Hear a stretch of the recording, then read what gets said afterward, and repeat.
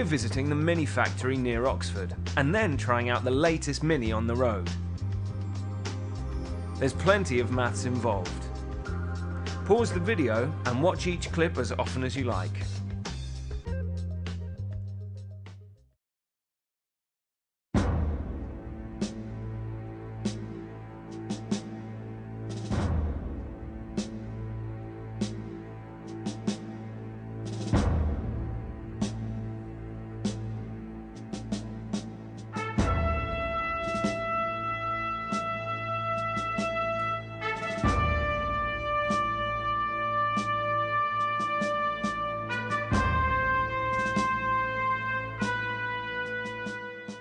How would you work out the internal volume of a Mini?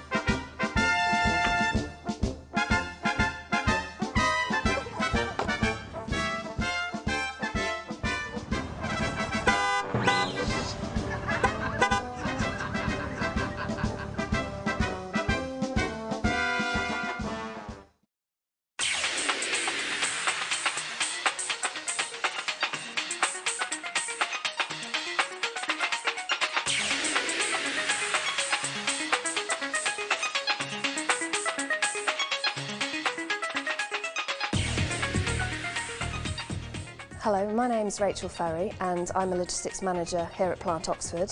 Here at the BMW factory we build minis.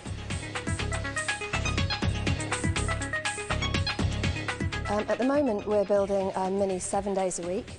Last year we built 186,000 minis and there are around um, 4,500 employees here at Oxford. The interior and the exterior parts get fitted all the way along what we call a production line. Basically, the people who work on the production line know exactly what their part to play is. They have a specified particular job to do and they repeat that job every single time a car goes past. So they have a time of around two minutes to complete their job. Well, first of all, we put the body panels together and then we paint the bodies in the paint shop. The painted body then arrives in our assembly facility. It takes between seven and eight hours for every Mini to go through the assembly facility and about 3,000 parts get fitted onto every single Mini. A Mini comes off the end of the production line every two minutes.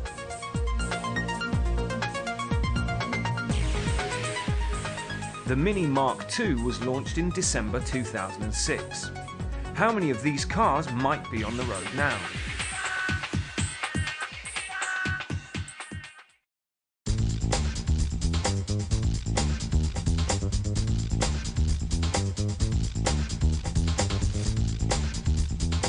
Every car has a customer. Every car belongs to somebody when we build it. There are 392 interior trim combinations and 319 exterior trim combinations. So it's a very complex car. So every single one is an individual car for an individual customer. How would you work out how many trim combinations are possible? There's 9,000 part numbers and almost every Mini has got up to 3,000 of those 9,000 parts.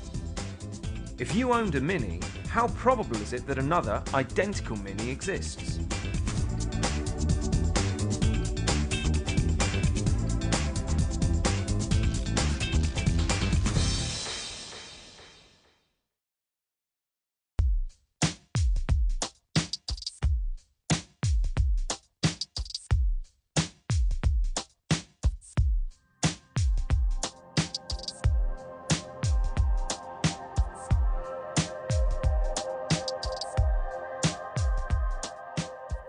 Plant here we have 4,500 employees and they work across three different shifts. At the moment at Oxford there are 13 shifts and um, we have the capacity to work up to 134 hours in one week. We're building 4,000 minis on average every week. How would you work out a shift pattern for the staff on the production line?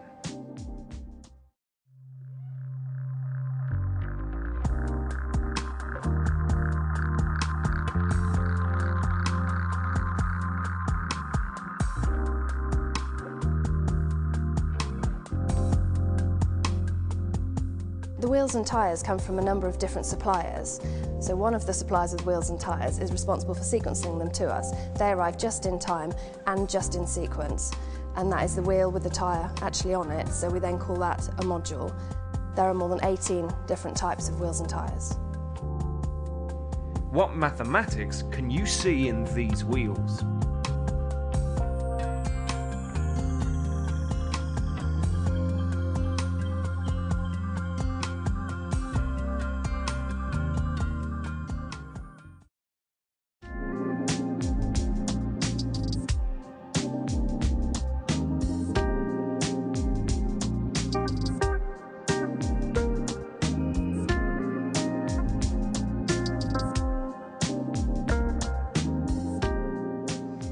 In the UK, the favourite colour that our customers order is chili red, and that's also true worldwide. And one in four people who order a Mini decide to order a convertible. Do the cars coming off the production line now support the fact that the most popular colour is red, and that one in four people order a convertible?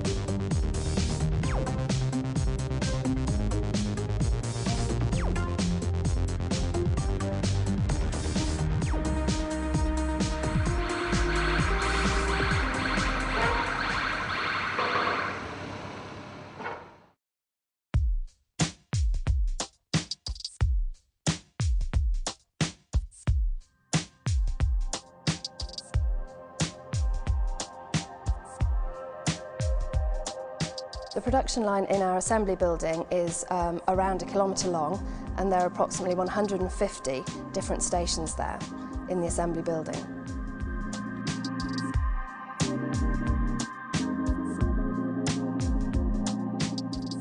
At the moment we're building between 600 and 700 minis every single day here at Oxford.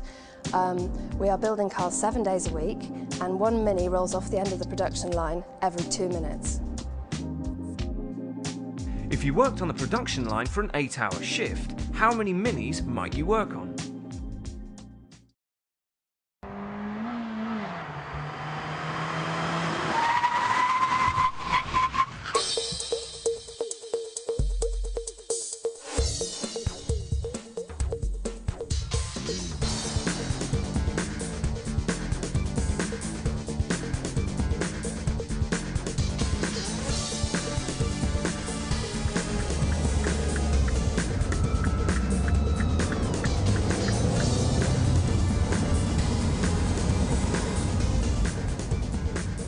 This is a one minute journey.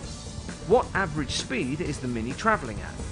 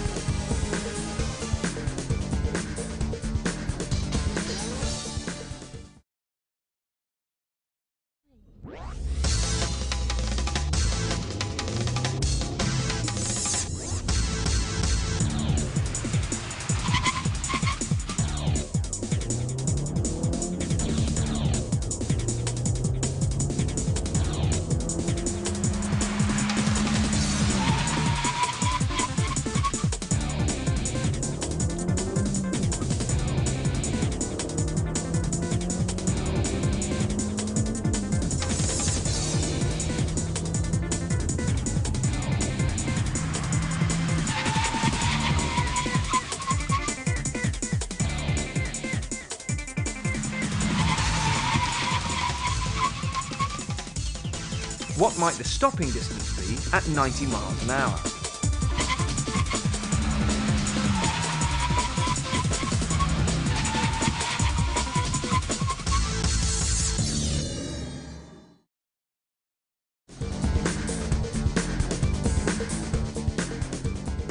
This is a time trial between a motorbike and a Mini.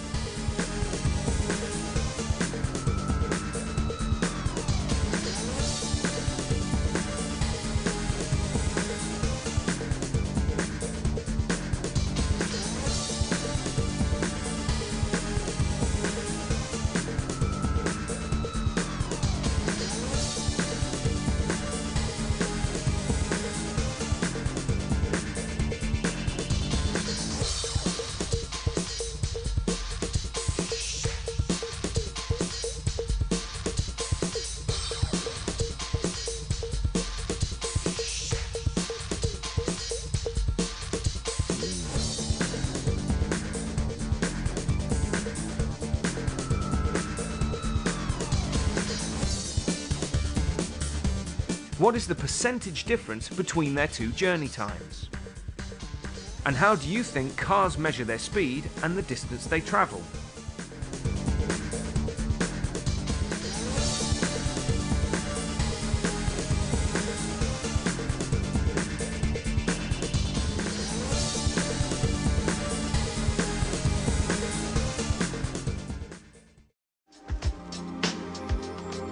Maths is used in logistics on a daily basis. We always have to work out how much stock we have around us. We need to know when the next stock is arriving. We also need to know a throughput time from when a pallet arrives to when it's needed at the fit point. We also need to know how many minis we're building so that we can talk to the suppliers about how many parts we need. So on a daily basis, we use a lot of maths.